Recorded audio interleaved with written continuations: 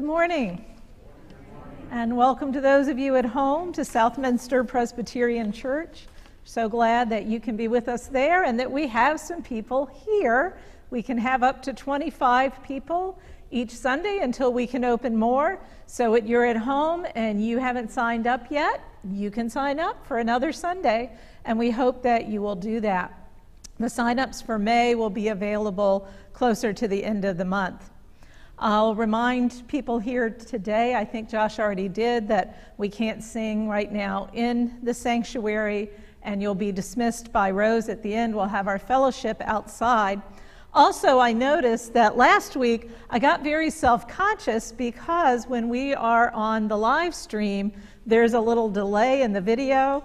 And so I've learned that I have to kind of wait a moment after each new part when we're beginning a new thing or we're ending a thing um, so that they can catch up at home.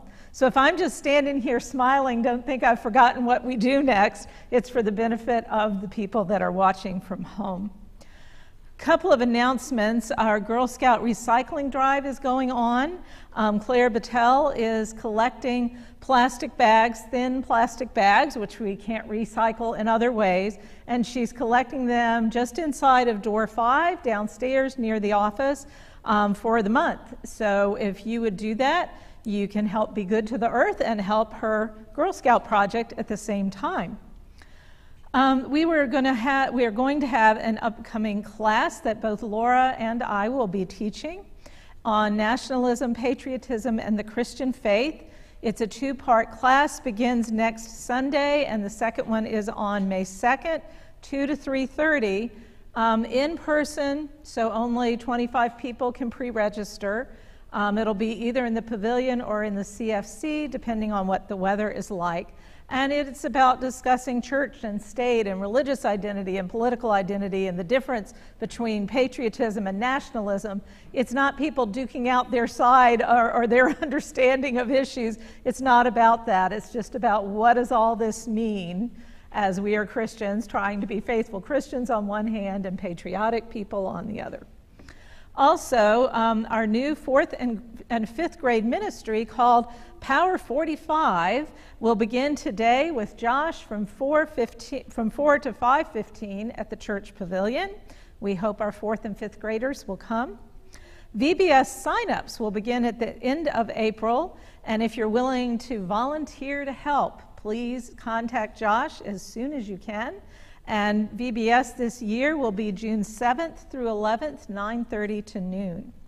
Remind you at home of the digital friendship pad and the live chat during worship. We hope you will participate in both of those. And now let everyone who's at home and everyone who's here prepare our hearts and our minds to worship God.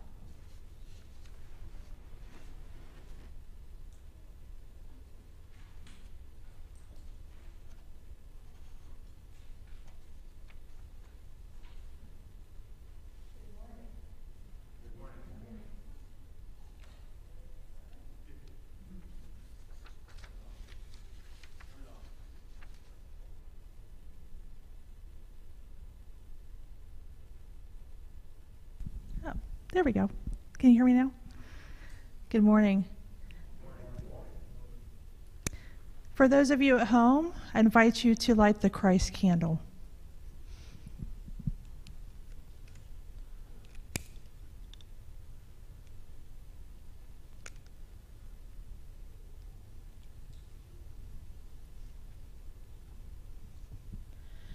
If you are able, would you please rise and join me in a call to worship?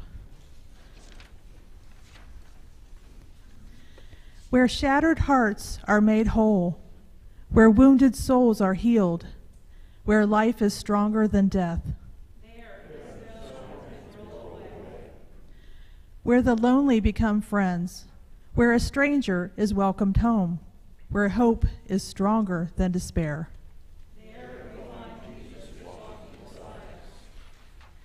Where closed minds are opened, where the anxious find serenity where love is stronger than hate. The stone has been rolled away. Jesus is our companion on the journey. Our eyes are opened to the needs of others.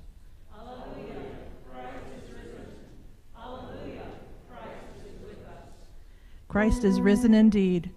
Thank you. Please have a seat.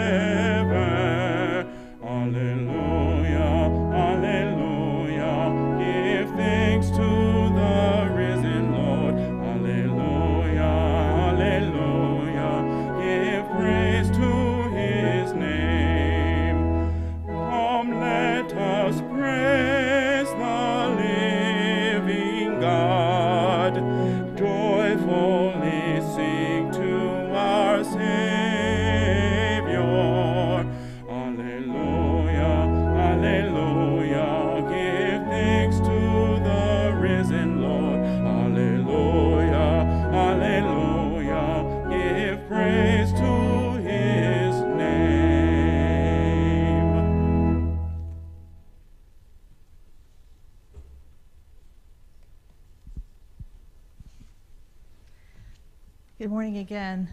As we come to the passing of the peace, it's going to look a little different now that we are during COVID epidemic here in the church. While we are seated, or I'm actually going to invite you to stand, but stand in your where you are, and instead of greeting everybody,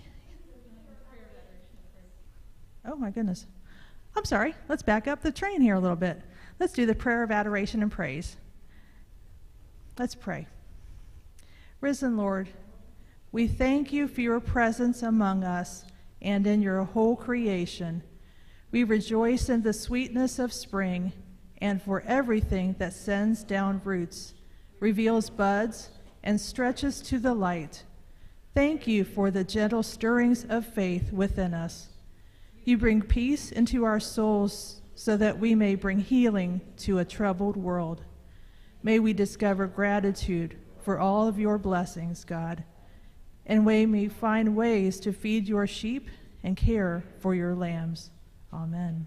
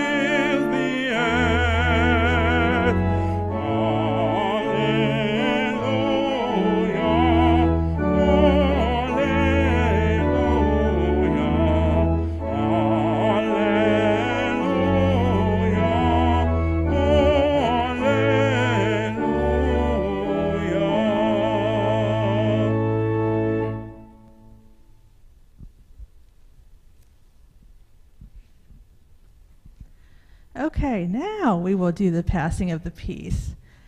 Uh, but before we do that, I was getting ready to say that for those of you who are in the sanctuary this for today, we invite you to stand where you are and just look around you to your neighbors in the pews.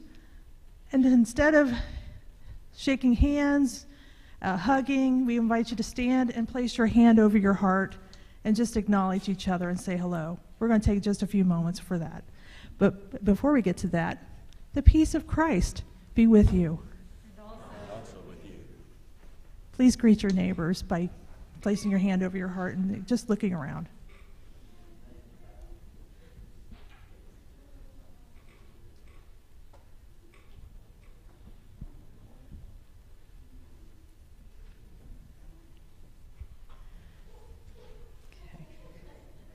You may be seated.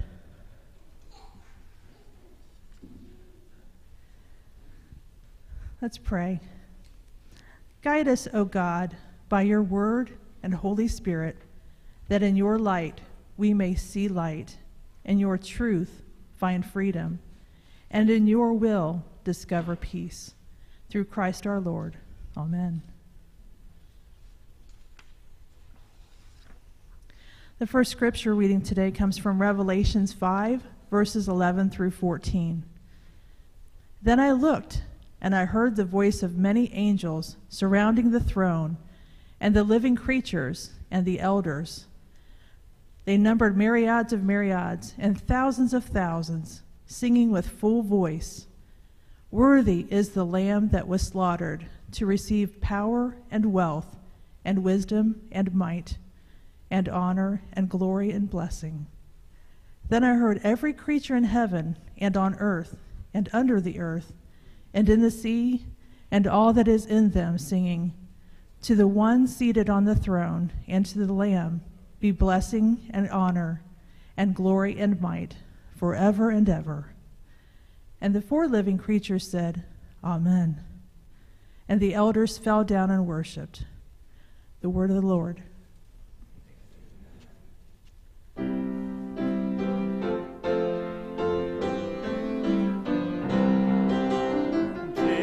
Jesus loves me, this I know, for the Bible tells me so. Little ones to him belong, they are fragile, but he is strong. Yes, Jesus loves me.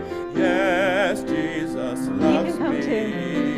Yes, Jesus loves Wanna get him a me. The Bible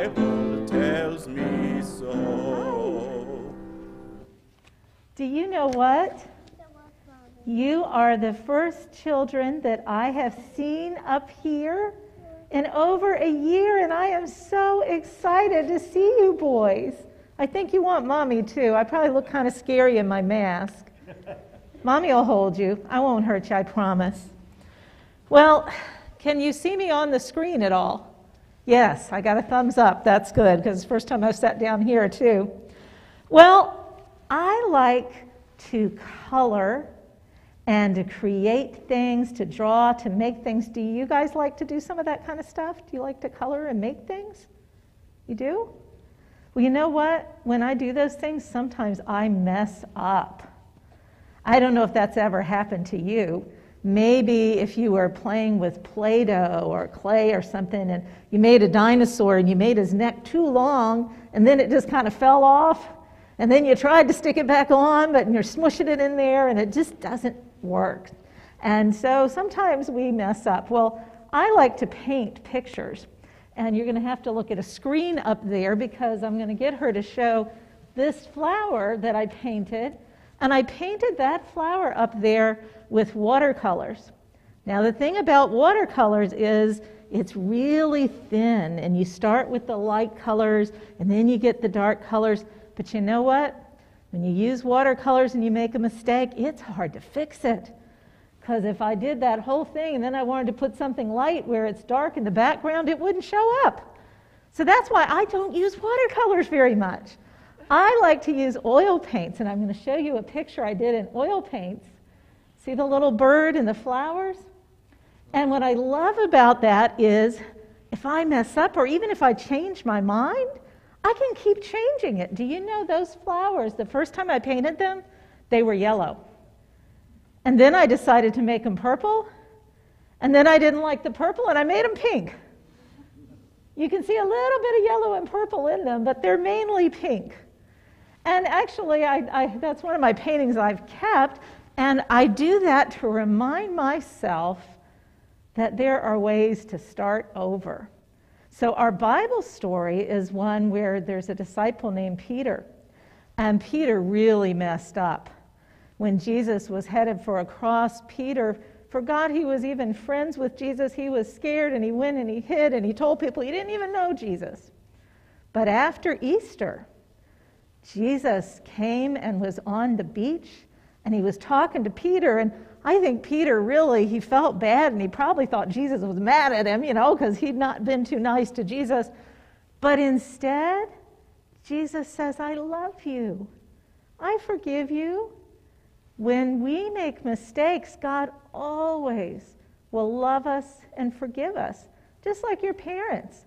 Maybe you do something wrong sometime and they let you know it was wrong, and they need to do that so that, so that you'll do okay but they never stop loving you, ever.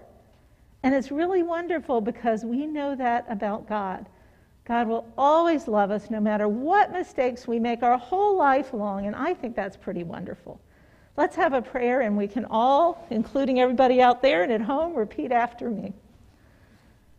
Thank you, God, for loving us so much, For loving us so much. Even when we make mistakes. Even when they're big mistakes. Even when they're big mistakes. We're really happy. We're really happy. Because we know you still love us. Because we know you still love us.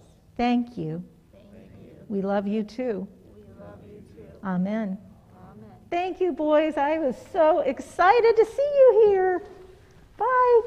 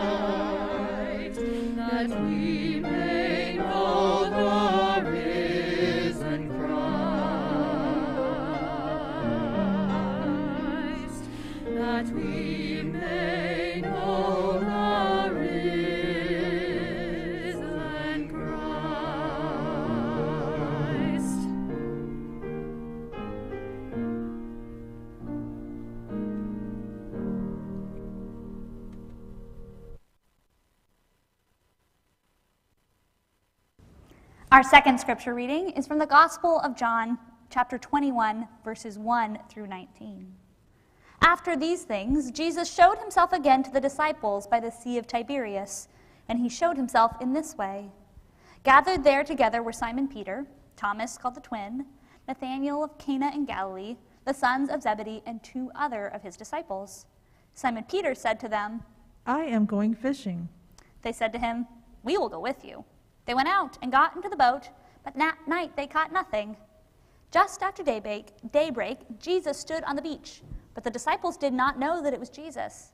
And Jesus said to them, Children, you have no fish, have you? And they answered him, No. So he said to them, Cast the net on the right side of the boat, and you will find some. So they cast it. And now they were not able to haul it in because there were so many fish. The disciple whom Jesus loved said to Peter, It is the Lord.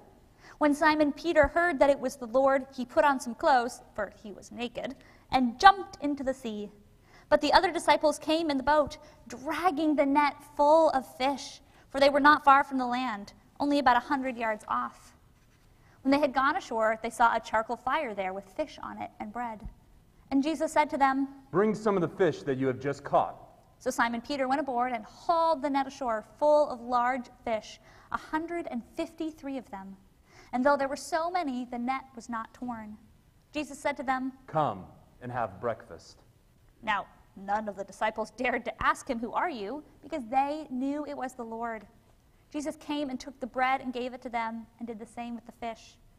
This was now the third time that Jesus appeared to the disciples after he was raised from the dead.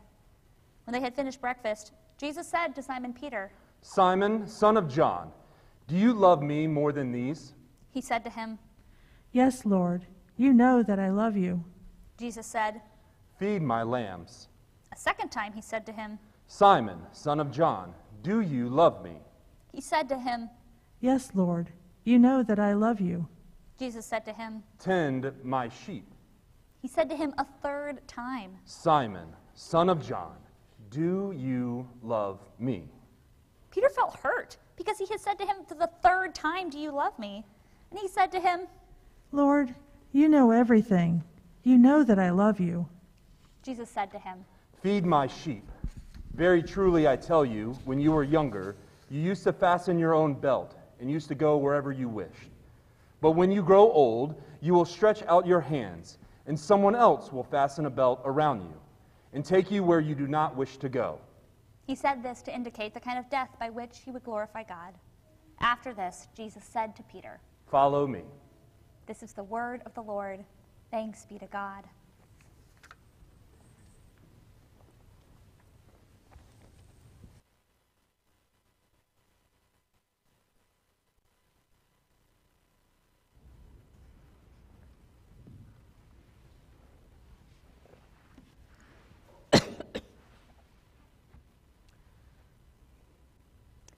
Let us pray. O God, may the words of my mouth and the meditations of all our hearts be acceptable in your sight. O Lord, our strength and our Redeemer. Amen.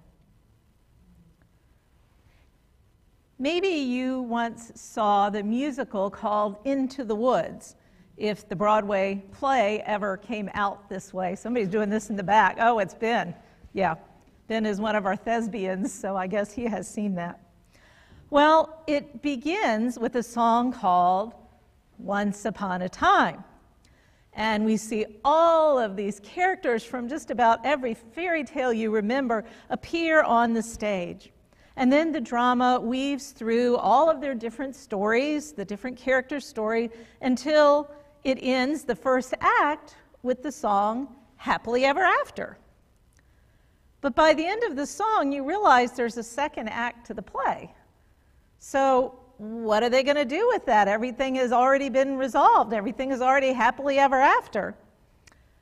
Then, in Act Two, you discover that the wife of the giant that Jack killed comes down the beanstalk to seek revenge. Cinderella is getting bored and restless in her marriage, and Rapunzel's handsome prince cheats on her with another one of the fairy tale characters. Well, you can see where all of this is headed the play doesn't end with happily ever after. But not all is lost. The characters who survive their ordeals work together to try to rebuild their lives. Sometimes happily ever after isn't the end of the story. When we read about the disciples after the resurrection, it feels a little bit like that, doesn't it? Easter seemed like a happily ever after, but time moves on, and the realities of everyday life set in for Jesus' followers, just like it can do for us after the Alleluias of Easter morning, when we then go back to our Monday morning routines, and much is the same as it's always been. The disciples' lives have been like a roller coaster. They've shared this amazing experience together of being by Jesus' side during his ministry. And then they endured the week that started with the cheers of Palm Sunday and hosannas as Jesus rode into Jerusalem. And that week ended with betrayal, with denial, with abandonment, with crucifixion. Then there was the joyous surprise of Easter followed by a reminder that Jesus would be going back to God, leaving them there. After all the stress and the grief and the uncertainty, it seems that Peter and the disciples just need the comfort of something familiar. Now, some of them used to make their living as fishermen, and so Peter says, Let's go fishing. And the other disciples say, Okay. They're out all night, but they don't catch a thing. At dawn, when Jesus appears on the beach and calls out to them, suggesting that they put their nets on the other side of the boat, as you might expect, they get a big old haul. But the impulsive, excitable Peter doesn't even wait to help get all those fish into the boat. He just jumps into the water and swims to shore. Jesus is beside a charcoal fire with some fish and some bread, and they all, when the other disciples join them, sit down for breakfast on the beach. Don't you imagine that Peter, who usually talks so much that he trips over his tongue, is pretty quiet at that first breakfast with Jesus? There must be some awkward silences where the only sound is the waves lapping against the shore or the crackling of the fire. Surely Peter remembers the last time he warmed himself over a charcoal fire. It was in the high priest's courtyard when Peter was asked if he knew Jesus. And he even cursed. He used that, and the two boys are here, so I'm not going to say it, but he used a curse word and said, I don't know him. When Jesus was arrested and led to the cross, Peter was nowhere to be found. He had fled, he had abandoned Jesus to his grisly death. Peter must be carrying the guilt of that betrayal around with him every day. He's a broken man, shamed by his cowardice when Jesus needed him most. Peter probably defines himself as the fallen disciple, the one who betrayed Jesus.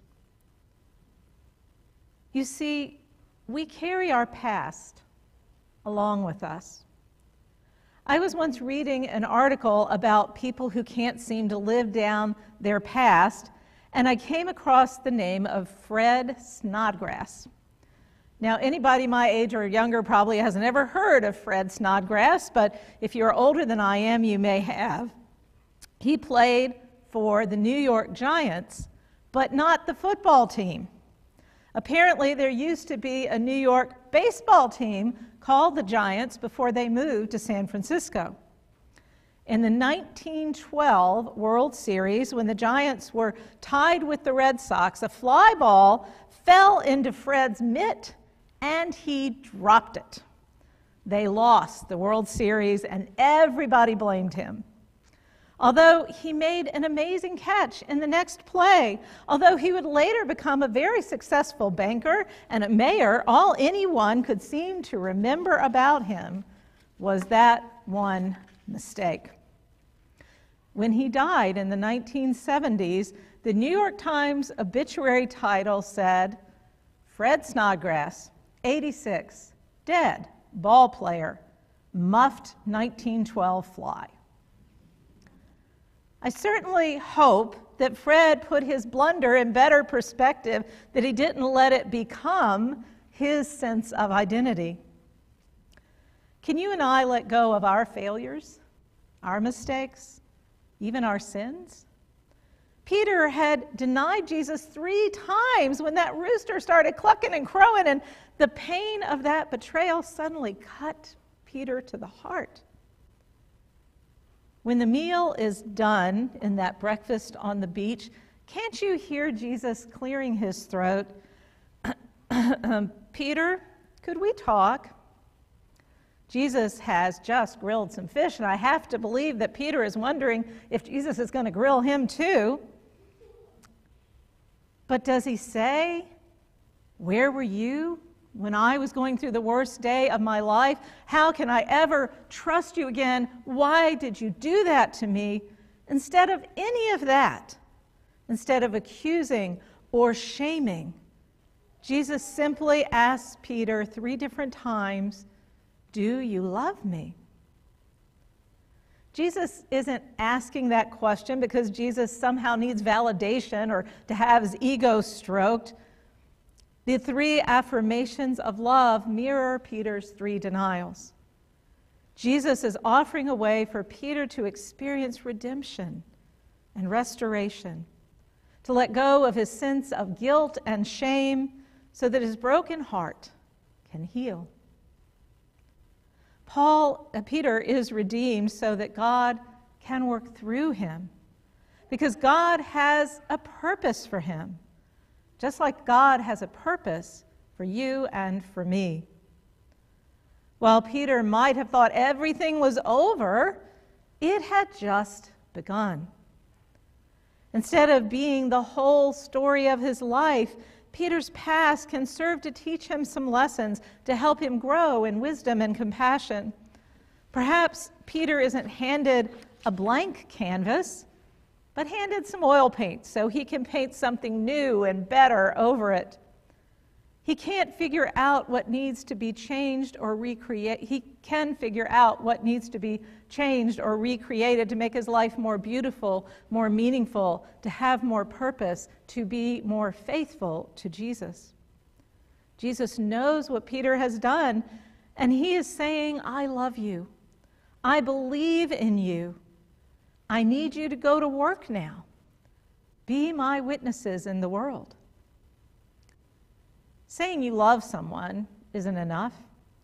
Christian love is about more than what you believe, it's about more than what you feel, it's about what you do and how you live. And so, at each profession of love from Peter, Jesus responds Feed my lambs, tend my sheep. In his earthly ministry, Jesus showed us how to do that, how to take care of people especially the poor and the hungry and the ones who are pushed to the margins of society. He even cared for the tax collectors and the prostitutes and the thief on the cross next to him. He's saying to Peter and to us, Love me, love my people. And not just the ones you know or like or feel comfortable with, love them all. If you really want to follow me, go and take care of each other. Know that I love you that I'm always ready to forgive you, but let your life be about more than your own needs. Friends, can you and I put ourselves in this story? Are there times when you have made choices that you know were wrong, that hurt someone else or hurt yourself? Times when you felt broken or like you just couldn't live up to what was expected of you? Times when you said or did something you couldn't take back or when you refused to forgive someone who desperately needed it from you, times when you felt like maybe you just let God down. None of us gets through life without some measure of brokenness. And yet, Jesus meets us wherever we are and asks, Well, do you love me? Then follow me. Be my hands, be my feet in this world. Your past doesn't define you, you don't need to be held captive by it. Civil rights leader and theologian Howard Thurman once said, No event in your life can imprison you. This is what resurrection is about. I will not allow the events of my life to make me their prisoner. I will continue to believe that God is not through with my life or with me. Friends, Jesus invites us to leave the empty nets of our guilt and our shame and our regret behind, to be open to the abundant grace of God. God loves us in and through our brokenness, invites us to wholeness and the work of discipleship because God isn't finished with us yet. We are given the grace of a new day. In your mind's eye, put yourself on that beach in Galilee. There is Jesus saying to me, Nancy, can we talk? Fill in the blank with your own name as Jesus asks you, Hey, can we talk? Do you love me? Feed my lambs, tend my sheep. In the resurrection at the beach, Jesus already has a few fish cooking when he invites the disciples to bring some of their own fish to add to the shared meal. Jesus takes us by the hand, puts his own spark of compassion in our hearts, and then we have that capacity for overflowing love. We have something amazing to offer this world. Easter is not a celebration of the past, it is the proclamation of a new beginning. When guilt ridden Peter thought he was no longer useful, God had other plans. At the end of the story, Jesus just said, Follow me. And so we follow. Even when we're tired, even when we haven't had any success, we just keep putting our nets back in the water and we never give up. Sometimes we might echo that Scottish fisherman's prayer you may have heard Oh God, the waves are so big and my boat is so small. We see the overwhelming need, and sometimes we don't feel like we can change anything or help anyone. It's possible that we won't even see the difference that we make in our lifetime. Yet, when we live as though we really do love Jesus, that love comes pouring out of us, and it touches this world with healing and with hope. Amen.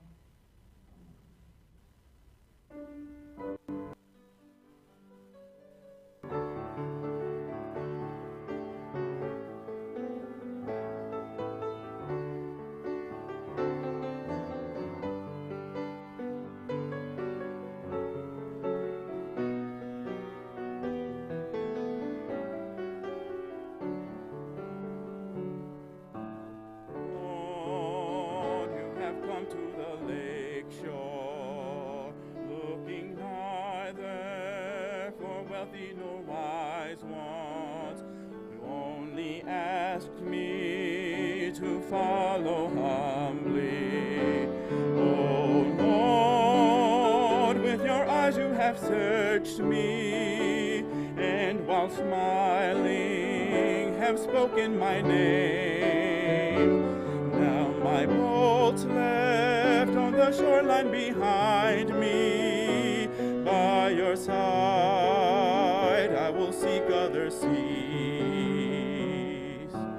You need my hands full of caring through my labors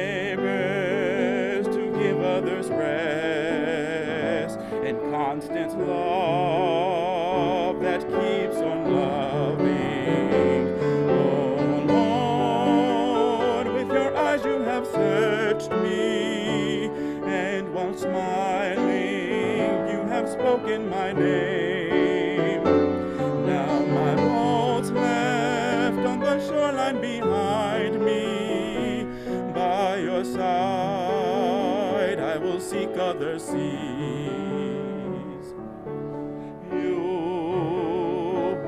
Fished other oceans, ever longed for by souls waiting, my loving friend as thus you call me.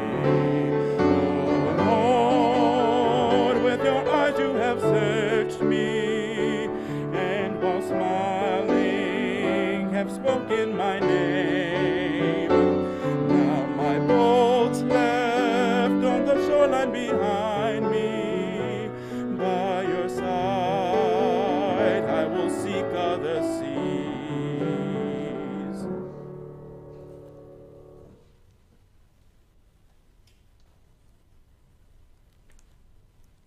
For our presentation of offerings. If you're at home, you can give online or mail in a check to the church office. And if you're worshiping with us in person, there is a box in the narthex, and you can drop your offering in there on your way out. Thanks be to God for all the gifts that we have given to God.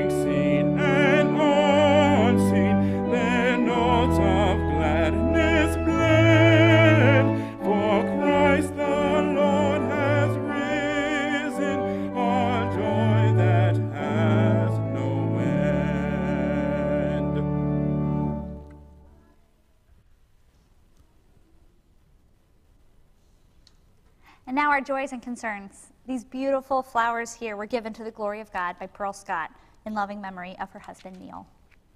Our concerns, we're praying for Pat B, who's home from the hospital but her but is still undiagnosed.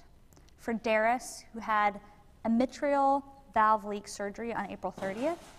And for Lynn, who's a family member of Pat K, who's being removed from a ventilator today.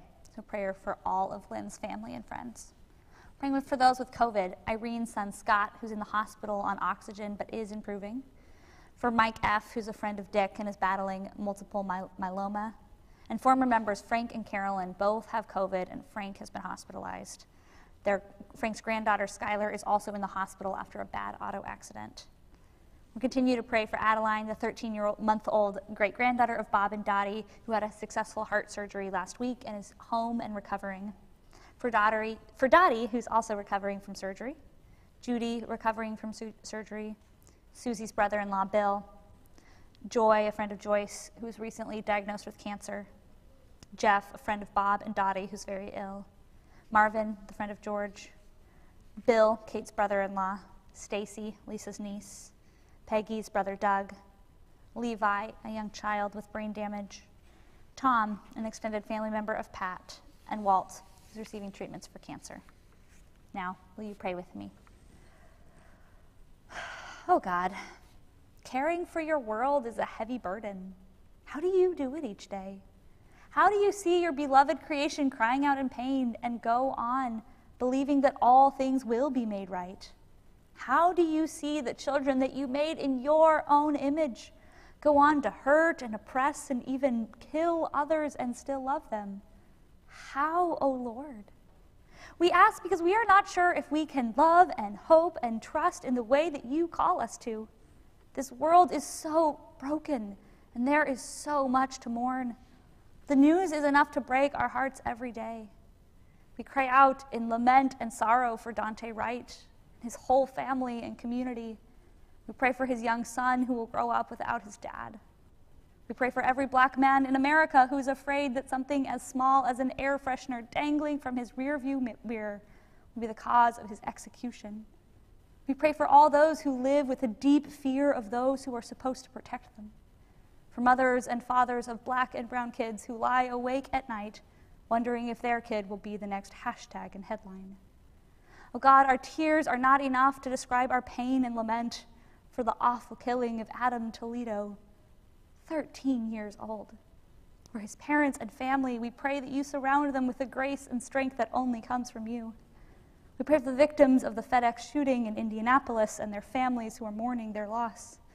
We pray particularly for the Sikh community who have faced so much racism and hatred in the past decades as they mourn the four Sikhs who were killed in the shooting. God, the violence is all around us. We are barely surviving a pandemic while fighting off an epidemic of gun violence that kills more and more of our neighbors each day. 40 mass shootings in the last month. Lord, have mercy. Christ, have mercy. God, show us what we can do to be peacemakers in a world desperately in need of peace and justice. Convict our hearts that we may not be content with the absence of violence on our streets, but on all streets. Teach us what it means to beat swords into plowshares in a nation that clings to its weapons. It seems wrong that we witness so much violence and death in this Easter season. Teach us, Jesus, what it means to be people who believe in resurrection. Teach us how to believe not when it is easy, but also when it is hard. Teach us to be your light to a world living in darkness and pain. Teach us what it means to feed your sheep. Remind us of your promise that through you we can do all things. So let us pray the prayer you taught your followers to pray Our Father, who art in heaven, hallowed be thy name. Thy kingdom come, thy will be done, on earth as it is in heaven. Give us this day our daily bread, and forgive us our debts as we forgive our debtors. And lead us not into temptation but deliver us from evil. For thine is the kingdom, and the power, and the glory forever. Amen.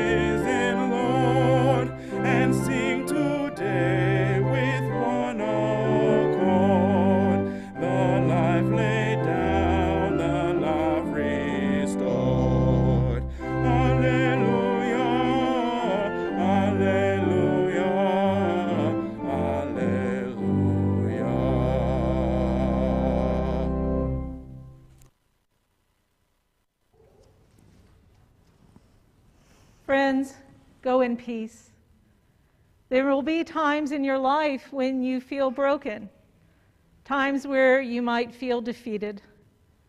But remember that through Jesus Christ, you are always loved. There is always a new beginning. Christ has risen. Amen.